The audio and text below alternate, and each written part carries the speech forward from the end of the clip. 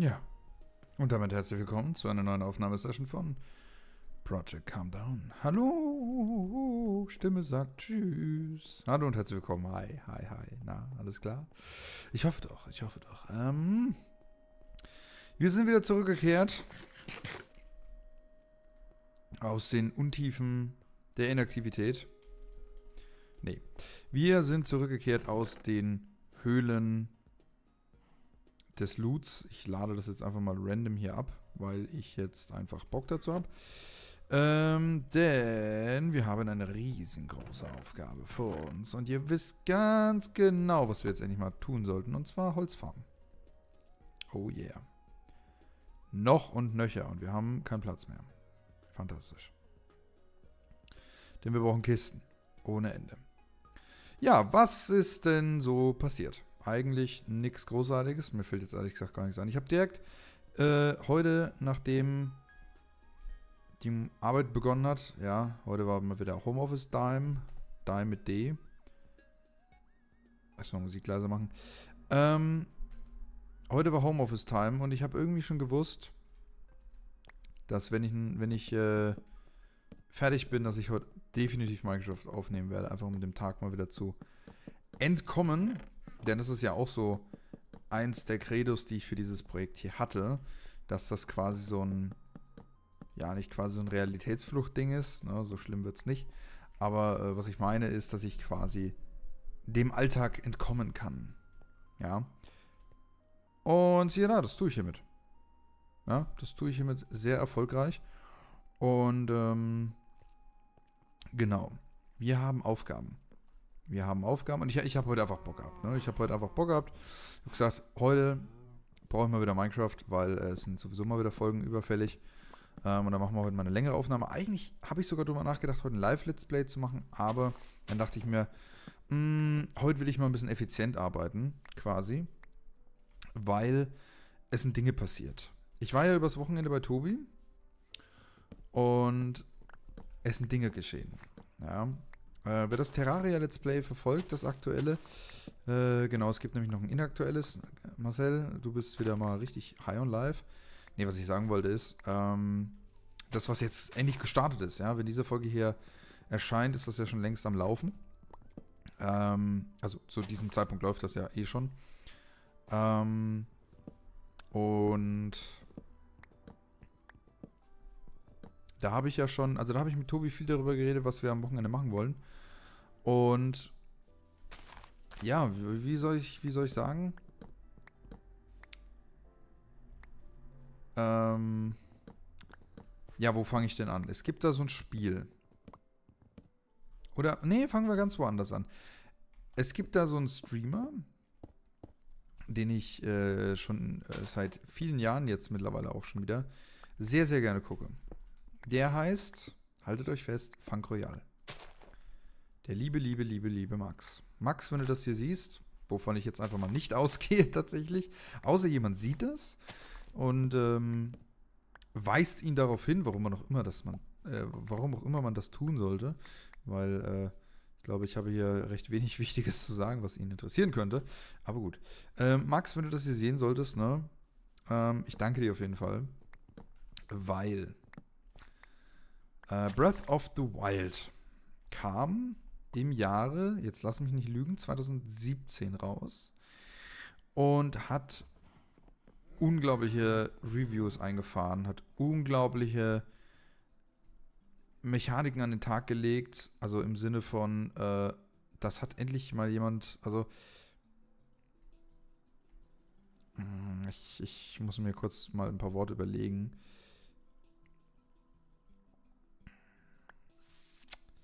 Ja, pass auf. Breath of the Wild ist ein Open-World-Game. Im Zelda-Universum.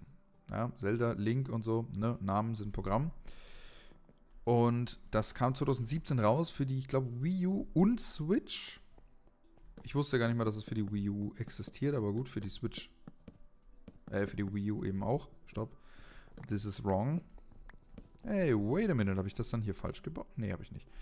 Ähm, genau, kam für die Wii U und für die Switch. Und ich habe das dann nie großartig verfolgt gehabt tatsächlich. Außer bei Funk Royal, als der dann ähm, 2022, letztes Jahr, ähm, das Spiel gestreamt hat. Und zwar im Master Mode. Und sein Credo ist ja seit jeher, er spielt Spiele angenehm, langsam, in seinem Tempo.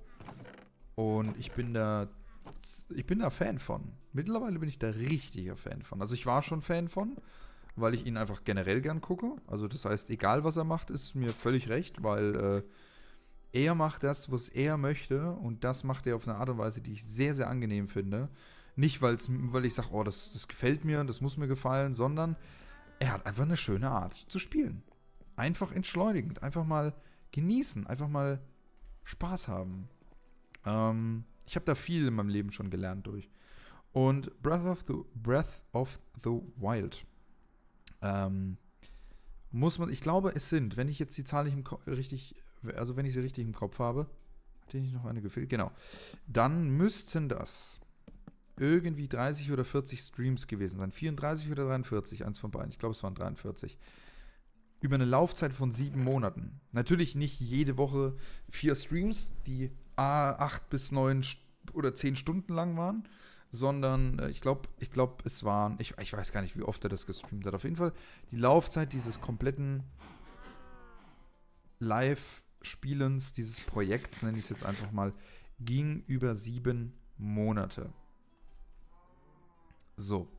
Und ich habe immer mal wieder zugeguckt und habe festgestellt, das ist, glaube ich, nicht meine Art von Spiel. Weil ich generell Open World Games, weiß ich nicht, finde ich jetzt nicht so spannend. Also ich finde Open World anders ausgedrückt. Ich finde Open World spannend. Open World kann wahnsinnige Welten erzeugen oder darstellen. Ähm, Open World ist generell der, der Begriff und, und, das, und das Wesen der Open Worlds Spiele, der Open-World-Spiele, ist unfassbar mächtig und da geht unglaublich viel.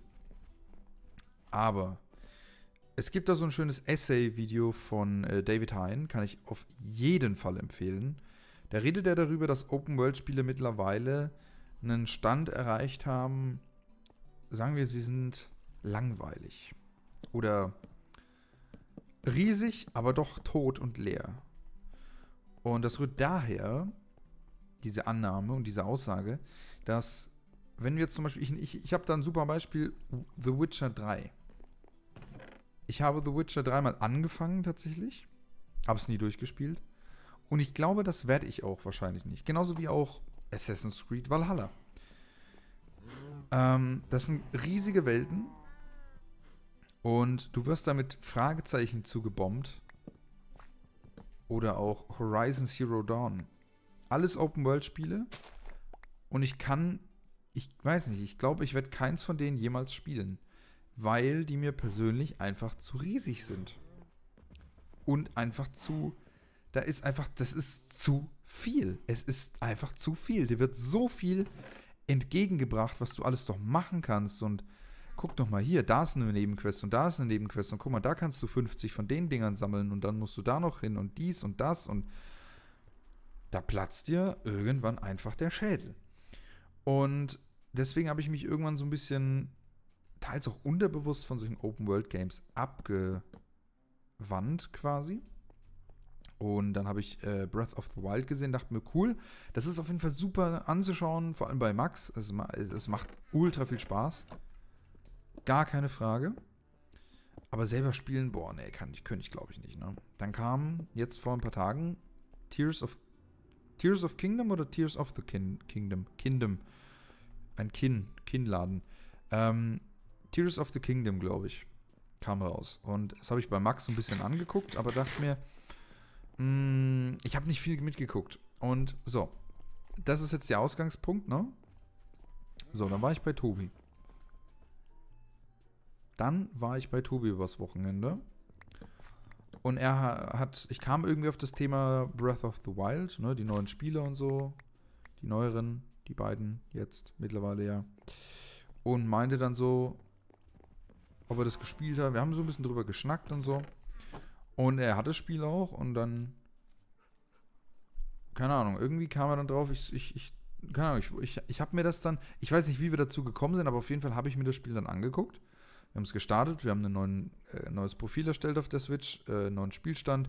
Ich habe angefangen zu spielen und es hat nicht mal eine Stunde gedauert und meine Meinung über dieses Spiel hat sich so dermaßen gewandelt, dass ich richtig süchtig wurde. Ich habe ultra Bock, dieses Spiel zu spielen. Ähm, und ich habe gemerkt, weil da kommen wir jetzt zum nächsten Punkt. Meine größte Angst ist es, wenn ich zum Beispiel so ein, so ein wenn ich jetzt drüber nachdenke, ich könnte es im, im Stream doch spielen, so ein Streaming-Projekt draus machen. Dann habe ich immer die Angst, dass mir das irgendwann einfach keinen Spaß mehr macht und ich das nicht zu Ende spiele, weil es mich doch irgendwie kalt lässt oder enttäuscht oder was auch immer, dass der, der, der dumme, dumme Marcel das irgendwie spielt und dann weiß ich nicht. Und dann, äh, ja, lässt das dann doch irgendwo links liegen, weißt du? Da habe ich gar keinen Bock drauf. Ich will das genießen, ich will das spielen und ich will das auch machen, weil ich Bock habe. Und nicht irgendwie, äh, yo, ich spiele das jetzt einen Monat und dann habe ich doch keinen Bock mehr, weil irgendwas anderes mich wieder vereinnahmt.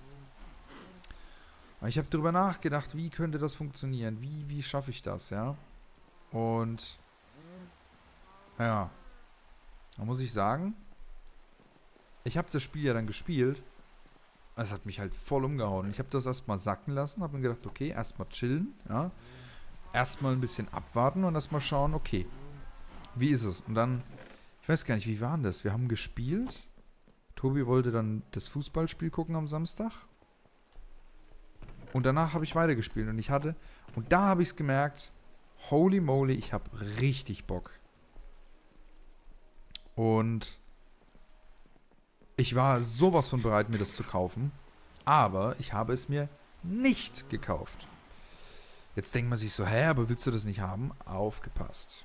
Und da kommen wir jetzt, da kommen wir jetzt zu dem äh, wichtigsten Punkt überhaupt für die Zukunft und für euch, liebe Zuschauer, für diejenigen, die auch gerne in meinem Stream gerne mal zuschauen. Äh, by the way, heute kein Live, kein Live Let's, ach, das habe ich ja schon erwähnt, ich Doofkopf. Ähm, mh, mm, Entschuldigung, Moment. Da habe ich. Da hatte mein Hals plötzlich gekratzt. Ähm, so. Und zwar, ich werde ja in Zukunft einen neuen Schreibtisch haben. Das habe ich ja schon äh, groß und ganz erzählt. Also ich habe ja, ich weiß nicht, wie oft haben wir darüber geredet im, äh, im, Let's Play. Ich glaube, sehr nah am Anfang auf jeden Fall, da haben wir die erste Bude noch gebaut. The Abandoned House. Und ähm, da habe ich ja habe ich ja dann schon rumsiniert, wie ich dann diesen Schreibtisch konzipieren werde und wie das alles ausschauen wird mit, mit diesen Boxen, die dann noch dazukommen, die ich mir angeguckt habe. Und da hat sich dann auch nochmal alles geändert. Also, ne, es ist viel passiert auf jeden Fall. Und dann habe ich überlegt, wie, wie, wie wird denn das funktionieren? Mittlerweile ist ein Wahnsinnsplan entstanden, ähm, wie dieser Schreibtisch und dieses komplette Konstrukt per se aus sehen soll. Und ich bin da auf jeden Fall absolut mit d'accord. Ähm, und für, das, für dieses Projekt ergibt sich folgendes. Und jetzt aufmerksam zuhören. Ähm, und zwar, ich habe ich hab darüber nachgedacht, wie, wie, wie, wie, wie, wie, wie, wie, wie, wie mache ich das? Ähm, weil ich hätte so Bock, das zu spielen. Aber irgendwie auf der Couch, weiß ich nicht, da bin ich so unmotiviert, weil ich habe ich hab momentan noch so eine richtige Billo-Couch, also keine so richtige gemütliche. Ähm, und dann, dann kamen mir Ideen und, und Gedanken und, und alles Mögliche. Das hat sich überschlagen in meinem Kopf. Von vorne bis hinten und überall. Ähm, und ich habe drüber nachgedacht, wie und was und wo. Und dann habe ich mir gedacht, wie wär's mit ähm, einer Capture Card im Rechner. Ja. Eine Capture Card. Oh yeah. Und ähm, dann habe ich mir gedacht, okay, überleg mal, im jetzigen, äh, mit, mit dem neuen Schreibtisch dann, da hätte ich dann quasi, ähm, ich versuche mich gerade echt zusammenzureißen, um das Thema nicht zu verlieren. Ähm, quasi einen riesen Schreibtisch.